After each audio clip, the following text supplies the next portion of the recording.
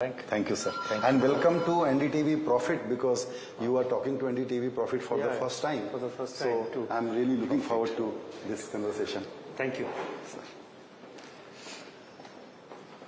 This uh, idea of interviewing RBI governor is very intimidating for me. and I'm genuinely, genuinely nervous. but uh, I'm very happy that you have come to Reserve Bank. Yes, sir. And I think... Uh, it will give you an experience of uh, what the Reserve Bank is and what all it does. Because there is public के mind में Reserve Bank के बारे में बहुत you know बहुत मतलब एक uh, एक mystical organization जैसा लगता है जी और I am happy that you are here but thank you very much thank you you are so right sir देखिए क्या है RBI is in every life लेकिन उनके लिए आरबीआई क्या करता है ये एक एक्सेसिबल या नजदीकी शायद उतना नहीं है but I must say as we start this interview that in your regime in your term the language of RBI has become very accessible and common man now knows much more about RBI's activity.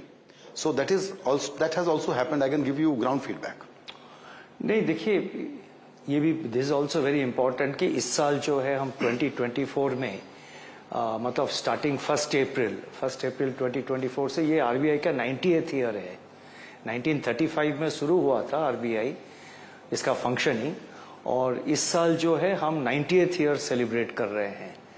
और it's a very momentous year for Reserve Bank और हमेशा हमारा कोशिश at least मैं, मेरे tenure के बारे में कह सकता हूँ, कह सकता हूँ कि हम लोगों का आरबीआई में ये कोशिश रहा है कि आरबीआई को जितने सिंपल तरीके से आरबीआई एज एन इंस्टीट्यूशन और आरबीआई का जितने भी कम्युनिकेशंस है मतलब मॉनिटरी पॉलिसी हो या कोई किसी भी चीज़ हो उसको कितने सरल भाषा में हम लोगों के सामने पेश कर सकते हैं प्रस्तुत लोगों के सामने दिखा सकते हैं वही हमारा कोशिश रहा है।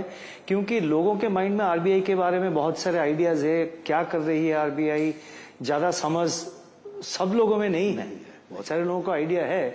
और जैसे आपने कहा कि कॉमन मैन के माइंड में भी काफ़ी मतलब देखिए it affect the life of every person आप मतलब करेंसी नोट से शुरू कर लीजिए। बिल्कुल। Every person uses currency notes और करेंसी नोट्स अगर कोई यूज़ नहीं कर रहा है तो फिर डिजिटल यूपीआई में कर- पे कर रहा है। और यूपीआई में भी आरबीआई का एक बहुत बड़ा रोल बड़ा है। रोल बिल्कुल सर। सो इसीलिए हम लोगों का कोशिश यही रहा है कि आरबीआई का कम्युनिकेशन और आरबीआई को मतलब कैसे लोगों के पास और ले सकते हैं।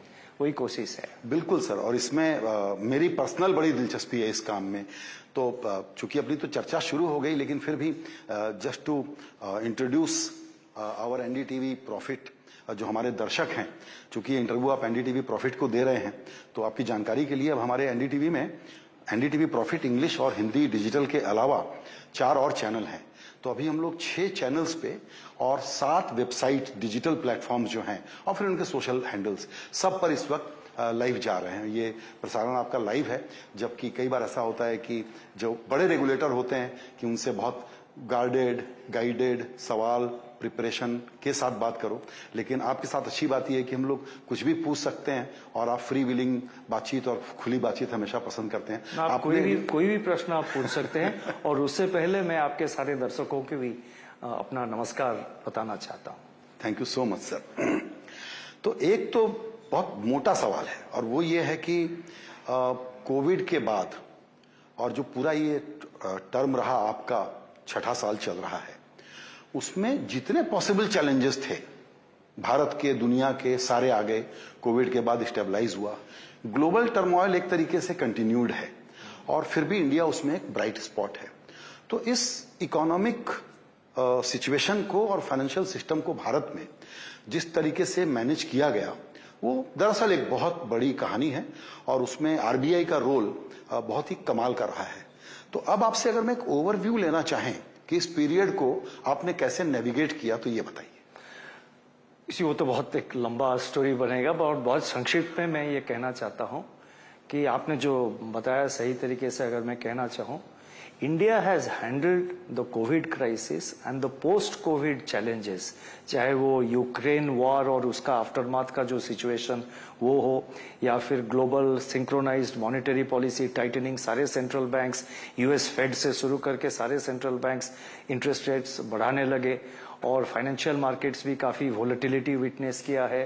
इनफैक्ट मैंने कई एक जगह, एक भाषण में और मैंने मॉनिटरी पॉलिसी में मैंने खुद डिस्क्राइब किया था कि पिछले जो पाँच, छह साल है, वो it has been a period of great volatility इस टाइप का वोलेटिलिटी इतने कम समय में कोविड फिर उसके बाद second wave of covid delta wave मतलब it was another major challenge covid शुरू हुआ 2020 मार्च में, फिर अगले साल 2021 अप्रैल में में वो डेल्टा हुए, फिर उसके 2020 वो 2021 फिर 2022 में यूक्रेन वॉर, उसका आफ्टरमाथ और वो जो जियो पोलिटिकल क्राइसिस है वो कंटिन्यूइंग है। सिर्फ़ जियो पोलिटिकल क्राइसिस नहीं है ये जियो इकोनॉमिक क्राइसिस भी है, क्योंकि ट्रेड बैरियर्स आने लगे गुड्स और supply chain arrangements goods movement के ऊपर सर्विसेज़ मूवमेंट के ऊपर बहुत सारे पाबंदियाँ रिस्ट्रिक्शंस लगने लगे और रिस्ट्रिक्टिव ट्रेड पॉलिसीज़ भी कंट्रीज़ लोगों ने अडॉप्ट करना शुरू किया और access to finance access to goods and services के ऊपर बहुत सारे बैरियर ये वर्ल्ड ओवर ये हुआ। इस बीच भारत का जो नेविगेशन रहा, इसका श्रेय में पहले तो अपने भारत के सारे देशवासियों को देना चाहता हूँ। सेकेंड रीजन ये है कि सरकार और आरबीआई के बीच में जो एक कोऑर्डिनेशन रहा जिसको अंग्रेज़ी में हम लोग कहते हैं कि फ़िज़िकल मॉनिटरी कोऑर्डिनेटेड अप्रोच वो बहुत सॉलिड uh, रहा। वो एक मेन कारण है जिसमें हम नेविगेट uh, कर पाए। हम लोगों ने जब जब मैं आरबीआई आया था तब वाईएलएफएस के फेलियर था, वो जस्ट हो गई थी उससे पहले अगस्त में 2018 में। फाइनेंशियल मार्केट्स काफ़ी टाइट थे तो हमारा मेन चैलेंज यही रहा कि मार्केट को कैसे कॉन्फिडेंस दे मार्केट में कैसा लिक्विडिटी लाए, क्योंकि लिक्विडिटी बहुत टाइट हो गया था कॉन्फिडेंस भी बहुत कम था। तो धीरे धीरे हम वो फ़ेज़ से जब निकल कर, निकल रहे थे, फिर मार्च में 2020 से कोविड शुरू हो गया। और फिर अगले दो साल बहुत चैलेंजिंग रहा। कई सारे मेजर्स हमने लिया है। सौ से ज़्यादा मेजर्स हमने लिया है। गवर्नमेंट के साथ एक्टिव कोऑर्डिनेशन रहा। गवर्नमेंट में भी वो जो ईसीएलजी स्कीम और बहुत सारे स्कीम्स इंट्रोड्यूस किया है। उसके बाद जिस तरह की से मतलब फिर बाकी क्राइसिस वो लंबा कहानी है। मैं ज़्यादातर बोलना नहीं चाहता हूँ। लेकिन एक पॉइंट सिर्फ़ ये कहना चाहूँगा कि देखिए जो क्राइसिस रहा covid it has resulted in a permanent output loss थोड़ा टेक्निकली बोल रहा हूँ। Yes, it has resulted in a permanent output loss for every economy in the world global economy के लिए वो एक आउटपुट लॉस रहा। जो दो साल कोविड के रहे उसमें जो आउटपुट लॉस हुआ जिसमें कि जीडीपी कॉन्ट्रैक्शन हुआ कई सारे इकोनॉमी नेगेटिव ग्रोथ में चले गए कॉन्ट्रैक्शन में चले गए कई सारे इकोनॉमीज बहुत लो ग्रोथ रहा। वो जो लॉस हुआ वो ऑलमोस्ट इट इज़ परमानेंट और ये सिर्फ़ भारत में नहीं सारे सब जगह। सब जगह वही स्थिति है। लेकिन वो जो क्राइसिस से जिस तरह से हम निकल कर बाहर आए सिर्फ़ कोविड नहीं उसके बाद जो यूक्रेन और बाकी सारे जो क्राइसिस आए और जो अभी भी चल रहे हैं उससे जिस तरह से हम निकल कर आए वो बहुत एग्जेम्पलरी है इंडिया के केस में भारत के केस में। क्योंकि आप अगर कंपेयर करेंगे our economic situation, financial conditions before we entered the crisis period, crisis period, and where we stand today or where we stood last year, India as a country, Indian economy, our financial sector have all emerged much stronger. पिछले तीन साल में GDP growth average annual growth rate आठ percent से ज़्यादा रहा। इस साल का हमारा आरबीआई का प्रोजेक्शन है कि 7.2 परसेंट रहेगा। इन्फ्लेशन यूक्रेन वॉर के बाद 7.8 परसेंट हो गया था। अभी इन्फ्लेशन 3.5 है, लेकिन वो 3.5 में मतलब वो बेस इफ़ेक्ट जिसको कहते हैं, इसीलिए थोड़ा कम दिख रहा है। अगले महीने में यू नो अगले एक दो महीने अभी कम रहेंगे। लेकिन इन्फ्लेशन जो है टारगेट जो रेंज है हमारा four percent plus minus two उस रेंज में है। ग्रोथ मोमेंटम इंडिया का जो है स्ट्रांग है inflation in by and large has moderated it is coming under control but four percent target अभी उसमें और भी डिस्टेंस कवर करना है और फाइनेंशियल सेक्टर आप देखिए सबसे बड़ी चीज़ है हमारा जो फाइनेंशियल सेक्टर है चाहे वो बैंकिंग सेक्टर हो एनबीएफसी सेक्टर हो overall financial sector today is much more stable and resilient and healthy than it was five years or six years ago most certainly तो आपने जो कुछ बातें कही हैं, उसी में से एक आध सवाल निकल के आ रहे हैं, वो है इन्फ्लेशन के बारे में, जैसा आपने कहा है। तो उसमें एक तो यह है कि आप कहते हैं कि आप फॉरवर्ड लुकिंग गाइडेंस नहीं देंगे, लेकिन मैं जैसे रीड करता हूँ। आप ये कह रहे हैं कि जब तक चार परसेंट के नीचे सस्टेन्ड बेसिस पे नहीं रहता इन्फ्लेशन जो एक्चुअली वेजिटेबल्स को छोड़ दें तो सर 3.3 परसेंट है सीपीआई के लेवल पे। तो आप कब तक इंतज़ार करेंगे कि ग्रोथ का नुकसान किए बगैर? इन्फ्लेशन पर आपकी कड़ी नज़र है कि रेट कट के लिए वो कौन से नेसेसरी कंडीशंस होंगे जिसमें आप कंसीडर करेंगे? इससे पहले तो ये है कि चार परसेंट के नीचे हम जाएँगे, वो हमने कभी नहीं कहा। आप अगर केयरफुली देखेंगे हमारा मॉनिटरी पॉलिसी स्टेटमेंट हम कह रहे थे, हम ये कह रहे हैं कि durable alignment of inflation to the target alignment मतलब वो चार परसेंट के आसपास रहे। और उसमें एक ड्यूरेबल बेसिस में, ये नहीं कि वन ऑफ़ मतलब आप देखिए पिछले जुलाई का इन्फ्लेशन 3.5 परसेंट आ गया, इसका मतलब ये नहीं कि मतलब प्रॉब्लम ओवर हो गया है, क्योंकि that is primarily because of base effect solid base effect advantage था। तो आवर टारगेट आवर अप्रोच जो है, चार परसेंट के आसपास रहे और उसमें थोड़ा ड्यूरेबिलिटी हमको कॉन्फिडेंस आए कि हाँ अभी चार परसेंट के आसपास रहेगा। एक वन ऑफ़ चार परसेंट के नीचे चला जाए, फिर हम इंटरेस्ट रेट को ये कर देंगे। वो बहुत बड़ा सीरियस पॉलिसी मिस्टेक होगा। We have to be patient बहुत पेशेंट रहना। और भी थोड़ा डिस्टेंस अभी कवर करना है। और जहाँ तक ग्रोथ की सवाल है ग्रोथ सेक्रीफाइस अभी तक जो ग्रोथ सेक्रीफाइस है, वो बहुत ही मतलब मिनिमल है, बिल्कुल ना होने की बराबर है। क्योंकि इस साल आप देखिए 7.2 परसेंट हम प्रोजेक्ट कर रहे हैं और India will remain the fastest growing economy 24-25 में। तो इसीलिए ग्रोथ सेक्रीफाइस जो है, या तो उसको आप मिनिमल कह सकते हैं, लेकिन हमारे हिसाब से कोई मेजर कोई ज़्यादा मतलब ग्रोथ सेक्रीफाइस नहीं हुआ है। Growth remains intact growth is stable and resilient और इन्फ्लेशन को हमको कम करना चाहिए। देखिए वेजिटेबल प्राइसेस या फ़ूड आइटम्स को अगर आप निकाल देंगे और फिर आप कहेंगे कि नहीं इन्फ्लेशन कम हो गया। फिर आप एक आम जनता के पॉइंट ऑफ़ व्यू से आप सोचिए। अगर फ़ूड प्राइसेस ज़्यादा है हम सिर्फ़ जिसको कहते हैं कि कोर इन्फ्लेशन कम हो गया ठीक है इन्फ्लेशन कम हो गया अगर वो कहेंगे वो क्रेडिबल नहीं रहेगा। जी। वो क्रेडिबल नहीं रहेगा लोगों के आम जनता के माइंड में ये रहेगा कैसे आप कह रहे हैं मेरा तो इतना खर्चा हो रहा है मेरा सैलरी इतना है और उसमें से इतना परसेंटेज जा रहा है फ़ूड कॉस्ट में। फ़ूड इन्फ्लेशन कैसे सरकार कह रही है कैसे आरबीआई कह रही है कि इन्फ्लेशन जो है कम हो गया। इसीलिए फ़ूड इन्फ्लेशन हमारा जो हेडलाइन इन्फ्लेशन जो टारगेट है उसमें एक बहुत बड़ा इंपॉर्टेंट कंपोनेंट है। उसका कारण ये है क्योंकि अभी जिस सर्वे के आधार पर हमारा कंज्यूमर uh, uh, जो कंजम्पशन बास्केट है जिसके ऊपर टारगेट इन्फ्लेशन नंबर कैलकुलेट करते हैं जो कंजम्पशन बास्केट है उसमें फ़ूड इन्फ्लेशन का शेयर 46 परसेंट है।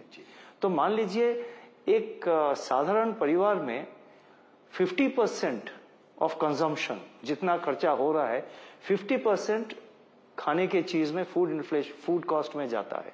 तो इसीलिए ये बहुत ही ज़रूरी है कि हम फ़ूड इन्फ्लेशन को मन में रखें और रेट कब हम कम करेंगे या कब पॉलिसी चेंज करेंगे, वो फ्यूचर डेटा के ऊपर डिपेंड करता है।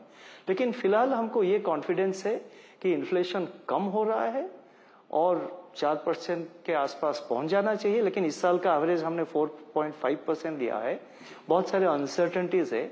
आगे जाके हम देखेंगे कैसे इनकमिंग डेटा स्टडी करेंगे उसके आधार पर आउटलुक क्या बन रहा है हमारा असेसमेंट करेंगे कि अगले छह महीने में कैसा रहेगा। उस बेसिस पे हम डिसीज़न लेंगे। पहले से एक गाइडेंस दे के आ, मतलब आप एक गाइडेंस दे देंगे फिर वो आप देखते हैं कि कुछ डेवलपमेंट्स आगे और नहीं हो रहा है। तो हम लोगों को कंफ्यूज नहीं करना चाहते हैं। लेकिन we are completely focused on inflation we are keeping close eye on growth We are keeping close eye on inflation. We want inflation to, it is coming down. We want inflation to go and be around 4% and be there फिर हम उसके ऊपर मतलब उसके basis पे हम आगे का कदम डिसाइड करेंगे जी बिल्कुल मैं आई एम सॉरी मैं थोड़ा लंबा आंसर दे रहा हूँ हाँ, नहीं नहीं लेकिन ये हमारे लिए तो मास्टर क्लास है और जैसा आपने कहा कि लैंग्वेज को सिंप्लीफाई करना तो मैं आपको फिर से उसके लिए बधाई देना चाहता हूँ कि आरबीआई ने जिस भाषा में अब बात करना शुरू किया है, वो बहुत ही एक्सेसिबल है। और एक्चुअली लैंग्वेज और नुआंस वगैरह सीखना हो तो मुझे तो लगता है कि इंग्लिश की क्लास आरबीआई की बेटर होती है। एक चीज़ और सर चूँकि अब ये रियलिस्टिकली लोगों को भी लगने लगा है, देश में एक अच्छा कॉन्फिडेंस का माहौल है कि हम बड़ा टारगेट अचीव कर सकते हैं। चूँकि विकसित भारत का एक लक्ष्य है दो का। तो अगर उसको लूजली ट्रांसलेट करें इकोनॉमिक टर्म में कि एडवांस इकोनॉमी एडवांस इकोनॉमी का मतलब ये है कि रिच कंट्री अगर कहना हो तो रिच अगर न भी हो तो अपर मिडिल इनकम कंट्री तो हमको होना चाहिए। अब उसके लिए बैकवर्ड नंबर देखें, क्योंकि डेटा की जो विजिबिलिटी आपके पास है, हम में से किसी के पास नहीं है। उसको देखते हुए अगर मैं ये आपसे समझना चाहूँ कि जो ग्रोथ की ज़रूरत है हमको, उस टारगेट तक पहुँचने के लिए कि मिडिल इनकम ट्रैप में फंस के न रह जाएँ, उसके बाहर आ जाएँ। उसमें क्या चैलेंजेस हैं, ये समझना चाहूँगा। पहले तो ये आरबीआई का जो भूमिका है इसमें आरबीआई का भूमिका इसमें रहेगा रहेगा। मतलब ये चैलेंज मतलब ये जो है इम्पोर्टेंट वर्क एजेंडा जिसको कि हम हमेशा ध्यान देना चाहिए। एक है we have to ensure price stability price stability मतलब check inflation keep it around four percent क्योंकि प्राइस स्टेबिलिटी रहेगा तो it gives lot of confidence to the consumers consumer के हाथ में रियल परचेजिंग पावर जो है वो बढ़ जाता है कंजम्पशन भी बढ़ेगा क्योंकि जब इन्फ्लेशन बढ़ता है परचेजिंग पावर लोगों का कम हो जाता है। सो so, जब हम प्राइस स्टेबिलिटी मेंटेन करेंगे लोगों में स्पेंडिंग के लिए कंजम्पशन के लिए लोगों के हाथ में ज़्यादा पैसा रहेगा। सेकेंडली प्राइस स्टेबिलिटी मतलब इन्फ्लेशन आप मेंटेन करेंगे तो इन्वेस्टर कॉन्फिडेंस उसमें बहुत आता है। तो बिगेस्ट सपोर्ट ग्रोथ के लिए प्राइस स्टेबिलिटी से आता है। तो इसीलिए प्राइस स्टेबिलिटी एक इंपॉर्टेंट कंपोनेंट है। आगे जाके भी हमको प्राइस स्टेबिलिटी मेंटेन करना चाहिए और जो कि मॉनिटरी पॉलिसी पॉलिसी का मेन ऑब्जेक्टिव है। Second thing is financial stability maintain करना चाहिए। बैंकों का हेल्थ हो एनबीएफसी का हेल्थ हो ओवरऑल फाइनेंशियल सेक्टर का हेल्थ हो फाइनेंशियल सेक्टर में कोई एक्सेसिव लेवरेज ना हो। सो फाइनेंशियल सेक्टर स्टेबिलिटी बहुत ज़रूरी है। फिर उसके आगे जाके जो आपका मतलब जीडीपी ग्रोथ और जीडीपी ग्रोथ के साथ साथ आपका जो जितने सारे इकोनॉमिक एक्टिविटीज़ उसमें कैसा मतलब how it will go forward उसमें opportunities are quite a lot. I think uh, the government has come out with a number of measures, but uh, I would just like to point out one or two things where uh, one is, you know, a lot of reforms have taken place over the last few years. बहुत important reforms आए हैं in fact monetary policy framework जो है वो सबसे बड़ा एक structural structural reform है इंसॉल्वेंसी बैंक्रप्सी कोड वो भी बड़ा स्ट्रक्चरल रिफॉर्म्स है। बाकी मेजर इनिशिएटिव्स जैसे कि make in India PLI schemes manufacturing को सपोर्ट देने के लिए वो भी काफ़ी कंट्रीब्यूशन किया है। सर्विस सेक्टर जो है काफ़ी स्ट्रांग है। तो कई सारे रिफॉर्म्स हुए हैं जो पेंडिंग रिफॉर्म्स है। चाहे वो सेंट्रल लेवल में हो या स्टेट लेवल में हो इनफैक्ट स्टेट लेवल में बहुत सारे रिफॉर्म्स करना ज़रूरी है।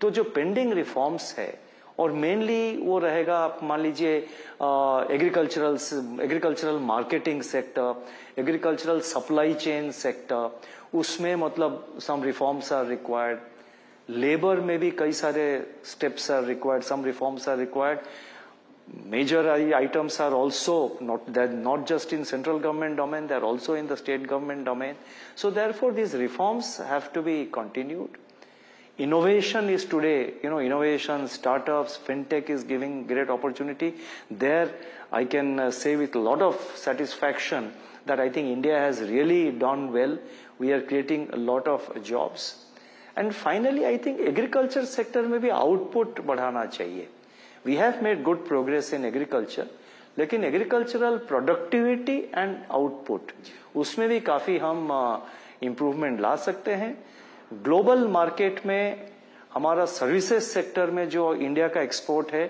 it's it is now making its presence felt in the global in the external markets manufacturing yes we are exporting merchandise exports लेकिन और भी अच्छा कर सकते हैं।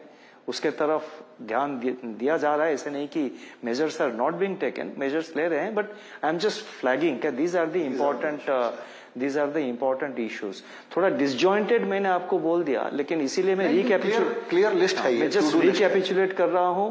Price stability financial stability manufacturing sector को continued support continued reforms both at the state and the central level, increasing, improving agricultural productivity, and finally, increasing our share in the export market and utilize the opportunity today which we have to become a significant part of the global value chain.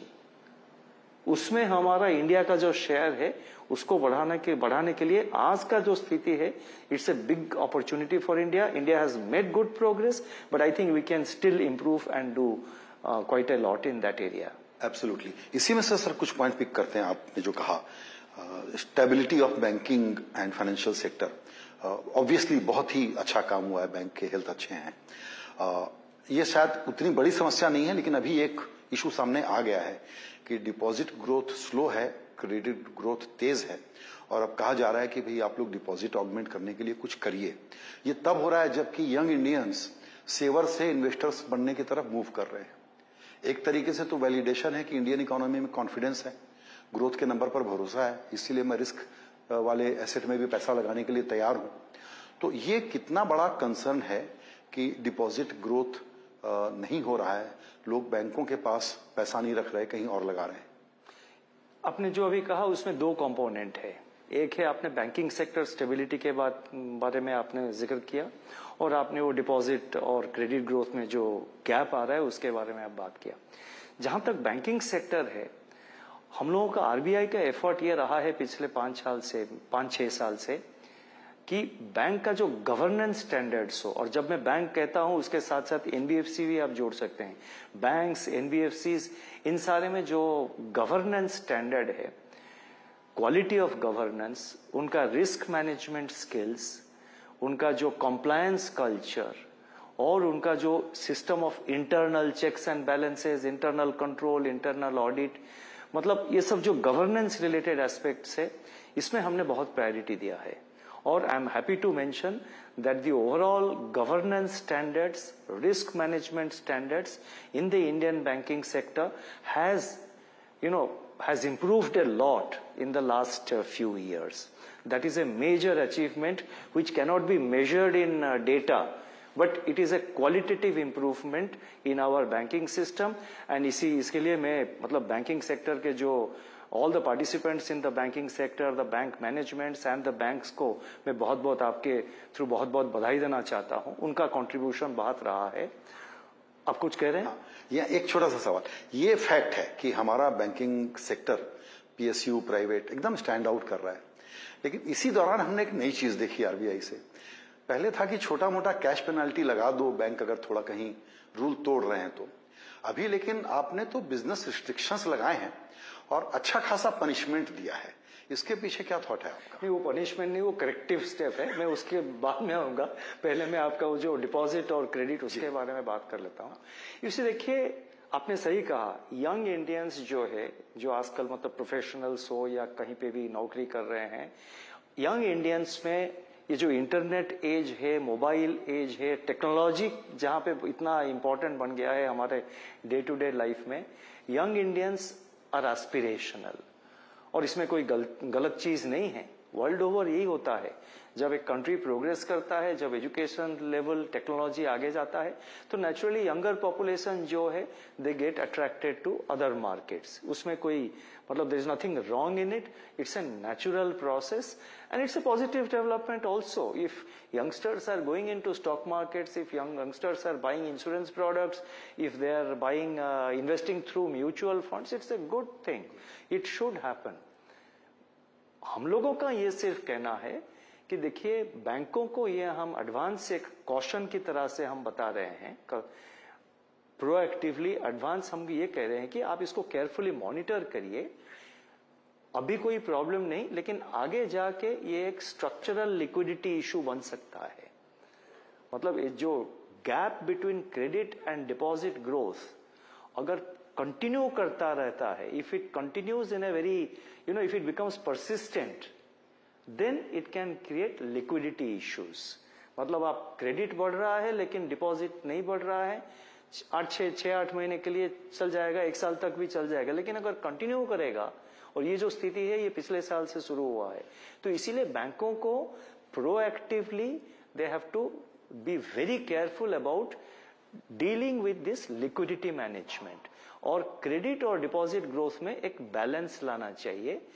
और another positive thing which happened is banks are even today, I find uh, that banks, uh, quite a number of banks are now raising funds uh, through infra- by floating infrastructure bonds.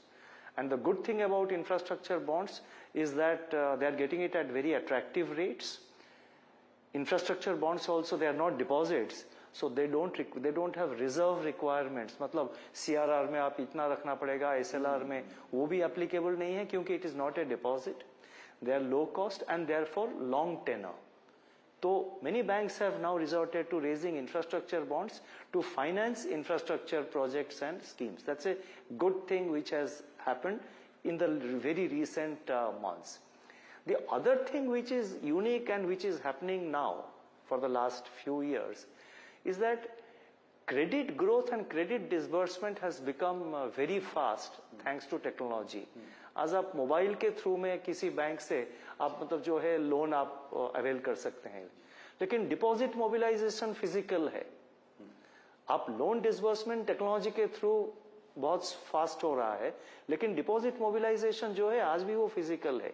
इसीलिए मैंने पिछले monetary policy में मैंने कहा था RBI के तरफ़ से कि बैंकों को नए नए डिपॉजिट प्रोडक्ट्स नए नए you know new products and services in the area of deposits मतलब लाना चाहिए और उनका जो वास्ट नेटवर्क ऑफ़ ब्रांचेस है उसको यूटिलाइज करना है आपका अगला सवाल था जो पनिशमेंट आपने कहा पेनल्टी या जो भी कह रहे हैं देखिए ये पनिशमेंट नहीं है ये करेक्टिव स्टेप है अगेन आरबीआई का जो सुपरवाइजरी सिस्टम्स एंड मेथड्स है हम लोगों ने उसमें बहुत इंप्रूवमेंट लाए हैं आजकल जिस डीप लेवल में हम सुपरविजन कर रहे हैं, वो मतलब it is there is a lot of qualitative improvement हम ऑन साइट सुपरविजन करते हैं। हमारे जो सुपरवाइजरी ऑफिसर है, वो बैंक हो या एनबीएफसी हो या एसेट रिकंस्ट्रक्शन कंपनी हो, वहाँ पे जाते हैं। दैट इज़ ऑन साइट हम ऑफ़ साइट भी सुपरविजन करते हैं। ऑफ़ साइट मतलब टेक्नोलॉजी आज इतना एडवांस हो गया है। हमारे पास सारे डेटा फ्लो जो है, वो रियल टाइम बेसिस में आ रहा है। तो हम ऑन साइट ऑफ़ साइट भी ऑफ़िस में बहुत सारे बैंकिंग सेक्टर का, हर एक बैंकों का, एक एक बैंक का क्या क्या ट्रेंड है, कितना लोन जा रहा है, कितना डिपॉजिट आ रहा है। लोन में अगर डिफ़ॉल्ट है तो ज़ीरो कोई ओवर ड्यू रिपेमेंट नहीं हुआ तो ज़ीरो टू थर्टी डेज़ तीस दिन तक कितना ओवर ड्यू है? तीस दिन से साठ दिन तक कितना ओवर ड्यू है? क्या तीस ज़ीरो टू थर्टी डेज़ का जो ओवर ड्यू है, क्या वो धीरे धीरे कम हो रहा है, लेकिन thirty to sixty day overdue बढ़ रहा है क्या? तो बहुत हम ऑफ़ साइड सुपरविजन भी बहुत कर रहे हैं। तो इसीलिए हमारा जो सुपरविजन है it has really we have now developed it and it is being now done with a kind of मैं हमेशा अर्जुना आई यूज़ करना कहता हूँ, लेकिन एक ईगल साई की तरह हम वॉच करते हैं। एक मिनट में बस कंप्लीट कर रहा हूँ। Overall situation banking sector NBFC sector overall financial sector is stable हमारा अप्रोच ये रहा है कि जहाँ पे हम डेफिशिएंसी देखते हैं, पहले हम उनको इंटरनली बायोलेटरली उनके साथ डील करते हैं। बायोलेटरली उनको कहते हैं कि देखिए, आप में ये ये डिफिशियंसीज है, आप इसको करेक्ट करिए। और उनको टाइम भी देते हैं और उनको कहते हैं कि भाई, आप एक रोड मैप्स हमको दीजिए, आप इसको छह महीने में, एक साल में कब कंप्लीट करेंगे? तो वो फिर रोड मैप एक हमको देते हैं प्लान ऑफ़ एक्शन देते हैं तो उसको हम देखते हैं वो रीजनेबल है या नहीं। फिर हम, हमारा एक्सपेक्टेशन ये है कि आप इंप्लीमेंट करें। तो उनको टाइम देते हैं और जहाँ पे हमने सुपरवाइजरी रेस्ट्रिक्शन लगाए, इसीलिए लगाना ज़रूरी हुआ क्योंकि वो जो रेक्टिफिकेशन करना था, जो करेक्टिव एक्शन करना था, वो सही तरीके से नहीं हो रहा था। तो हम अगर उसको एक साल, डेढ़ साल तक टाइम देते हैं और आगे अगर उसको कुछ ना करके ऐसे छोड़ देंगे it can create a bigger crisis और क्राइसिस में सबसे बड़ा प्राइस कौन पे करता है? द कंज्यूमर्स द डिपॉजिटर्स तो हमारा जितने सुपरवाइजरी रेस्ट्रिक्शंस है main priority is to see that the depositors interest consumer interest and financial stability के ऊपर ओवरऑल जो देश का फाइनेंशियल स्टेबिलिटी है उसके ऊपर इसका कोई असर ना आए। तो इसीलिए हम एक उनको अपॉर्चुनिटी देते हैं टाइम देते हैं करेक्शन के लिए रोड मैप मांगते हैं उनसे। अगर करेक्शन सही टाइम पे नहीं होता है, फिर हमको ये सुपरवाइजरी रेस्ट्रिक्शन लगाना पड़ता है और उसका उद्देश्य ये नहीं कि उनको पनिश किया जाए। उसका इंपॉर्टेंस ये है, उसका जो क्रिटिकलिटी ये है कि हम उनको कह रहे हैं कि भाई आप जल्दी करिए। नहीं तो आप बिज़नेस ग्रो ऐसे नहीं कर सकते हैं। एक तरह से आपका एक वीकनेस है लेकिन आप बिज़नेस ग्रो करते जा रहे हैं। आपका मतलब कॉमन मैन लैंग्वेज में कहो आपका स्टमक अपसेट है लेकिन आप खाते जा रहे हैं। खाने में भी कुछ रिस्ट्रिक्शन करना चाहिए कुछ दवाई लेना चाहिए।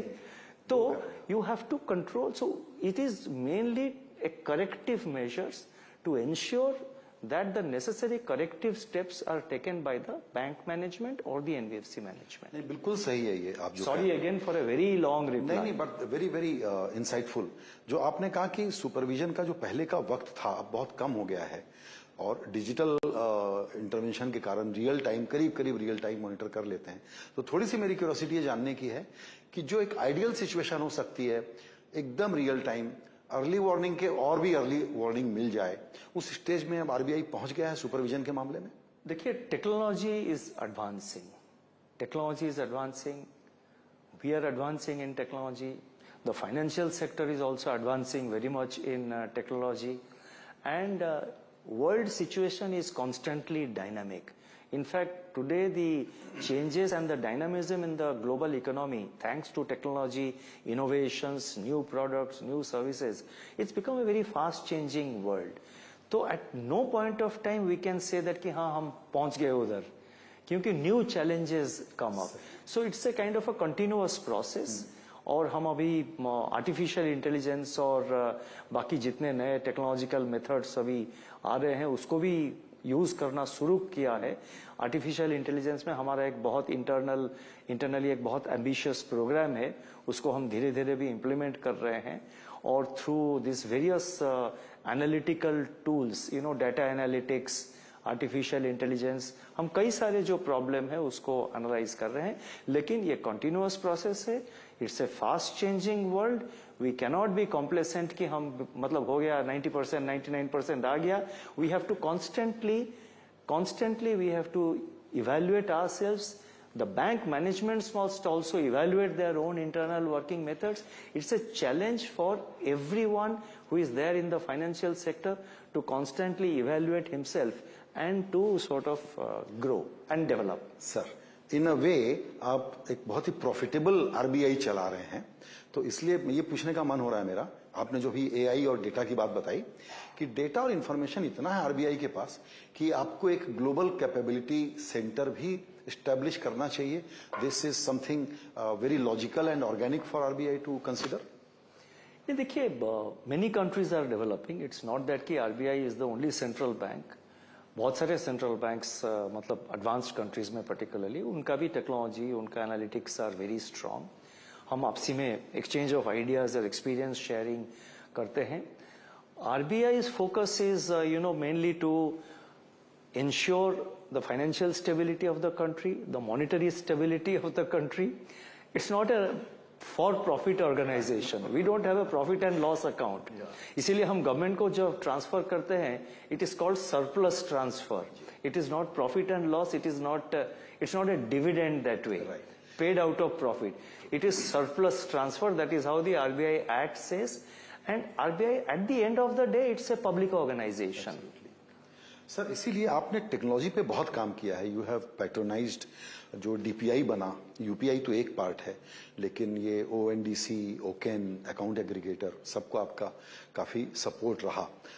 उसमें हमारे जो बैंकिंग एडिटर हैं, विश्वनाथ नायर, मैं उनसे बात करके समझ रहा था इस इंटरव्यू की तैयारी के पहले तो उनका एक पॉइंट था कि फिनटेक के जो लोग हैं, उनको लगता है कि हम लोग नए नए अभी सीख रहे हैं, लेकिन आप एक स्ट्रिक्ट पेरेंट की तरह से उनको जरा ज़्यादा ही टाइट कर रहे हैं। देखिए मैं क्लैरिफाई करना चाहता हूँ आपके माध्यम से। ये क्वेश्चन कई कई बार आता है।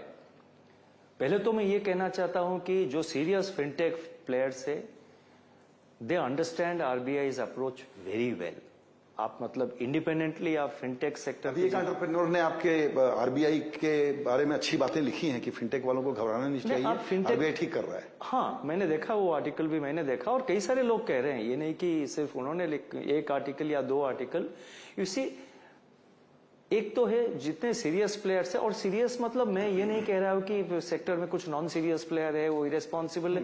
मेरा कहने का उद्देश्य मेरा कहने का ऑब्जेक्टिव वो नहीं है। लर्निंग का इशू हाँ। देर स्टिल लर्निंग तो एक है तो और सेकेंड थिंग इज़ हमारा जो डायरेक्ट इंटरेक्शन है एंगेजमेंट है bilateral engagement with individual fintech players and also with groups and association of fintech companies वो बहुत बढ़ गया है। Every month we have earmarked a day. We have in fact uh, four years ago we set up a dedicated fintech department. And the purpose of the fintech department is to support is to extend regulatory support to the fintech players. Every month on a particular earmarked day every month a one day is earmarked when any fintech player any fintech company or fintech innovator or anyone in, from that area he can just have a walk-in meeting with our fintech department to have an understanding and to seek clarification or to explain his problem and his difficulty other than that, we have been holding regular individual meetings and regular uh, uh, group meetings also with the FinTech Association. पिछले साल मैंने हम लोगों ने announce किया था एक fintech fintech SRO, self-regulatory organization ho, which will act as a intermediary, as an interface between RBI and the fintech players. Because an intermediary self-regulation organization will understand their problems better. He can voice their difficulties to us and we can engage. So the fintech SRO we had announced and it is under process. We expect to make good progress under that very shortly. And uh, other than that constant engagement. लेकिन आप fintech में जब आप मतलब you are starting a business and when you are coming into a regulated space एक तो है आप टेक्नोलॉजी सप्लाई कर रहे हैं and you are not in the regulated business regulated arena that is different but any fintech player when he comes into a regulated space the regulated space has got certain rules and regulations. There have to be guardrails to preserve financial stability.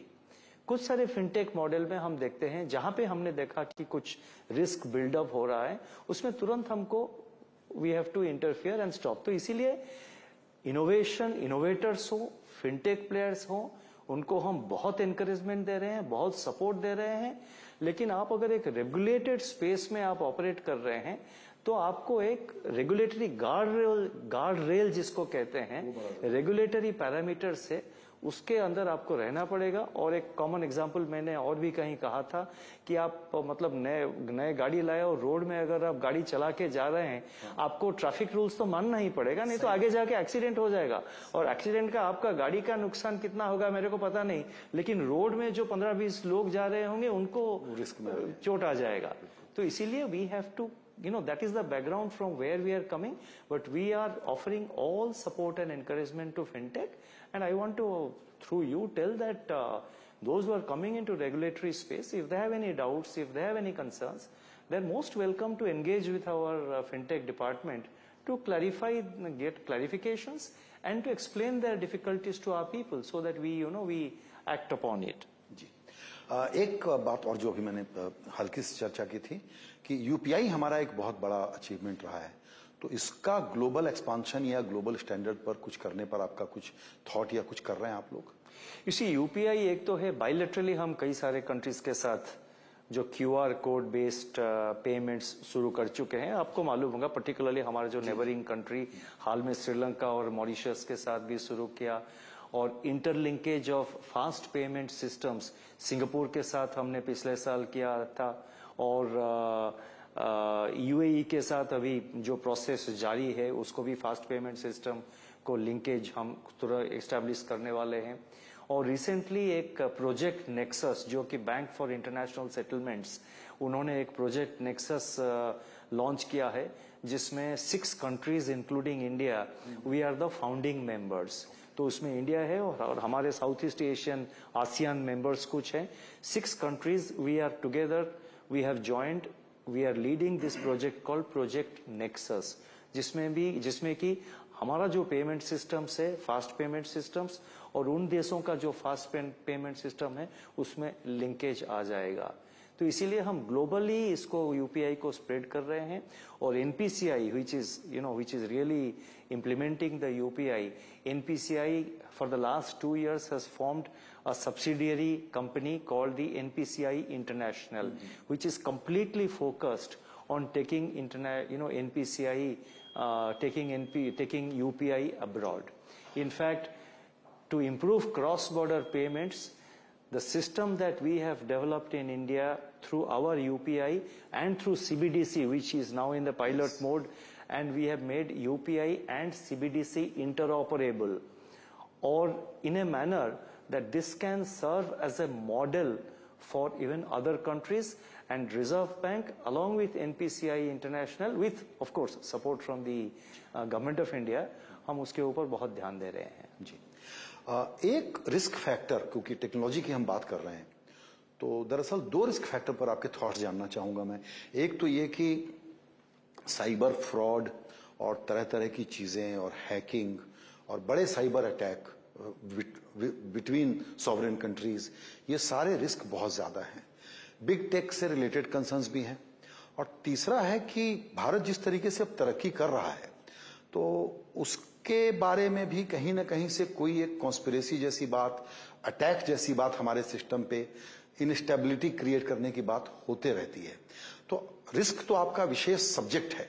आप इन चीज़ों को कैसे देखते हैं? इसी cyber security और uh, के बारे में आपने और बिग टेक ये दो टू थिंग्स आपने मेंशन किया जहाँ तक साइबर सिक्योरिटी है टेक्नोलॉजी जितना बढ़ता जा रहा है attempts to hack into systems, attempts to do cyber frauds, they are all growing. अभी आप दो तीन साल पहले आप रेगुलरली पेपर में आता था कि आजकल भी आ रहा है ऐसे मैं नहीं कह रहा हूँ कि पूरा बंद हो गया है कि जो मतलब वो मोबाइल बैंकिंग में फ्रॉड हुआ है और साइबर फ्रॉड हुआ है किसी को मतलब कोई पासवर्ड आता है वो किसी के साथ कोई बाई मिस्टेक पासवर्ड शेयर कर देते हैं उनके बैंक के खाता से या यूपीआई के माध्यम से पैसा चला जाता है। और बहुत सारे इलीगल एप्स भी थे। इसमें हमने बहुत अवेयरनेस क्रिएट किया। पर्सनली मैंने किया, हमने awareness through advertisements through television सारे मीडिया जो चैनल है, उसमें हमने बहुत एडवर्टाइज किया। लोगों में कॉन्शियसनेस क्रिएट किया। हाल में पिछले मॉनिटरी पॉलिसी में हमने ये अनाउंस किया कि हम एक public repository for public repository for digital lending apps उसका एक पब्लिक रिपोजिटरी करेंगे। कई बार यह आता है कि आपके मोबाइल किसी के मोबाइल फ़ोन में एक मैसेज आता है कि आपको पाँच लाख का लोन सैंक्शन हो गया है आप इसको क्लिक कर दीजिए और आपको लोन तुरंत मिल जाएगा। तो बाई मिस्टेक कुछ लोग जो है वो क्लिक कर देते हैं। दो साल पहले बहुत सारे लोग क्लिक करते हैं लेकिन आज के तारीख में वो बहुत कम हो गया है। लेकिन लोगों में एक अवेयरनेस क्रिएट करने के लिए क्योंकि वो जो मैसेजेस आता है वो इतना जेन्युइन लगते हैं कि कोई कॉमन मैन है या कोई भी हो पढ़ा लिखा हो उसमें भी कोई फ़र्क नहीं है। वो they get misled they think कि हाँ ये जेन्युइन मैसेज है। तो इसीलिए लोगों को जानना ये ज़रूरी है कि कौन से एप्स है which are legal and which are illegal इसीलिए हमने एक पब्लिक रिपोजिटरी क्रिएट कर रहे हैं। कोई भी कस्टमर कोई भी मतलब वो रिपोजिटरी में जाके, वो वेबसाइट में जाके वो चेक कर लेगा कि ये जो है कौन सा बैंक का ये किसी बैंक का ऑथराइज्ड लेंडिंग ऐप है क्या? या ये फ्रॉड है, वो पता लग जाएगा। बाकी अवेयरनेस हम क्रिएट कर रहे हैं और जितने बैंकों बैंक्स और एनबीएफसी है, उनके साथ लगातार एंगेजमेंट करते रहते हैं। हमारा सुपरविजन डिपार्टमेंट में एक विंग है कॉल्ड सी साइट जो कि बिल्कुल जो उसका main focus is cyber is IT quality IT systems and cyber security of the financial institutions banks NBFCs and RBI also तो इसीलिए we are constantly working with the banks to increase the cyber security, uh, the firewalls and other protective uh, layers. In fact, when uh, COVID started, in the middle of March uh, 2020, one of the first measures we took was to issue an advisory सारे सारे बैंकों को और NBFC को हमने advisory दिया कि देखिए this is the time when there will be maximum attack on your IT systems and indeed the number of attacks during that period went up क्योंकि ये मतलब कॉमन सेंस है जब आप घर में नहीं हैं या घर में आप और कुछ चीज़ में शादी वादी में आप बहुत व्यस्त हैं या किसी का तबीयत खराब है आप उसमें व्यस्त हैं तो जो चोरी करना चाहता है उसको एक मौका है ये। बिल्कुल। मतलब चोरी राइट वर्ड नहीं है I am sorry I should not use that word but जब हमारा अटेंशन बिल्कुल कोविड के ऊपर है जो फ्रॉडस्टर्स है उनको ये पता है कि अच्छा अभी उनका लेवल ऑफ़ जो गार्ड है वो कम होगा। तो इसीलिए one of the first steps we took uh, in the second or third week of March 2020 was to alert all the banks. Then हम लोगों ने एक बैंक सीईओ के साथ एक मीटिंग तुरंत किया। उनको मतलब वी अलर्टेड देम कि भाई you improve your cyber security this thing cyber security जो अरेंजमेंट से। और ये एक ऐसा चीज़ है जिसमें कि banks Reserve Bank other regulators government agencies we are all working in a coordinated manner to protect the IT systems and cyber systems of India because it is, it can be and it is the biggest threat world over, not just for Absolutely. India. It is the biggest threat for financial stability. It can also be, and it is the biggest threat for national security also. So therefore, all agencies in India, whether it is the government agencies, RBI, other regulators and banks and other, we are working very closely on this. Urgent agenda है ये। Sir आपने जितना वक्त दिया था वो अब करीब करीब मैं एक्सीड कर चुका हूँ। मेरे पास सवाल तो बहुत हैं लेकिन एक सवाल और आपसे पूछना चाहूँगा आखिरी। वो ये है कि आपका ये दो टर्म जो रहा ये बहुत चैलेंजिंग वक्त में बहुत ही ज़बरदस्त रहा और ऐसा रहा जबकि दुनिया भर में सेंट्रल बैंकिंग की जो आपकी संस्था है उसने आरबीआई को बेस्ट सेंट्रल बैंकर का अवार्ड भी दिया पिछले साल। इतना बिज़ी शेड्यूल था आपका उसके बाद भी कुछ चीज़ें रह गई होंगी। तो वो क्या है जो आपको लगता है कि आगे आरबीआई को करना चाहिए जो इसको और ज़्यादा अगले लेवल पे ले जाए एज ए रेगुलेटर इसे हमने इस साल जैसे मैंने पहले आपको किया कि हम 90 इयर्स सेलिब्रेट कर रहे हैं आरबीआई का। We have come out with an agenda for RBI at 100 उसको पब्लिक डोमेन में भी हमने मतलब it is available in RBI website और RBI at 100 वेरियस सेक्टर्स में financial sector payment sector monetary policy regulatory space banking और non banking regulation सारे area में हमारा क्या क्या next ten years going up to going up to RBI at hundred what are the aspirational things which we should focus on and make them possible we have come out at, uh, with an agenda uh, agenda for RBI at 100, meaning when RBI reaches 100 years in uh, in uh, 2034. Right. So it's a 10-year agenda we have come out with, and that agenda is quite a flexible thing, you know, because situation is changing fast. So new items will get integrated, will get incorporated. So we are therefore focusing on uh, all these things. Main driving philosophy of this uh, is that to keep RBI future ready to keep RBI ready at all times and to keep it future ready, keeping in pace with the way technology and modern business, modern industry and the modern world is evolving. और आपने central banker की best central banker के बारे में आपने ज़िक्र किया उसमें सिर्फ़ मैं ये कहना चाहता हूँ और ये बहुत विनम्र तरीके से मैं कहना चाहता हूँ with all sincerity and seriousness that it has been a team effort. It has been a team effort.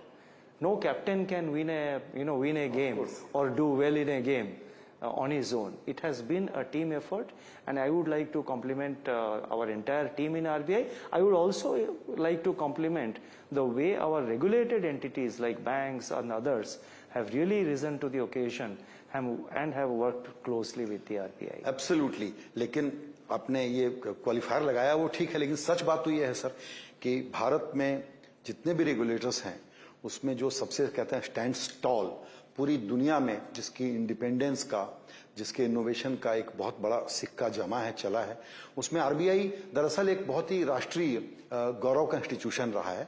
और ये बिल्कुल इंस्टीट्यूशन की बात है ये कोई इंडिविजुअल की बात नहीं है लेकिन आपके नेतृत्व में ये काम हुआ है इसके लिए आप भी बधाई के पात्र हैं। Thank you thank you sir आपने आज हमारे लिए वक्त निकाला एनडीटीवी के एनडीटीवी प्रॉफिट के दर्शकों की तरफ़ से आपका बहुत शुक्रिया। Thank you thank you very much और आपके सारे दर्शकों को भी मेरा पुनः नमस्कार थैंक यू थैंक you.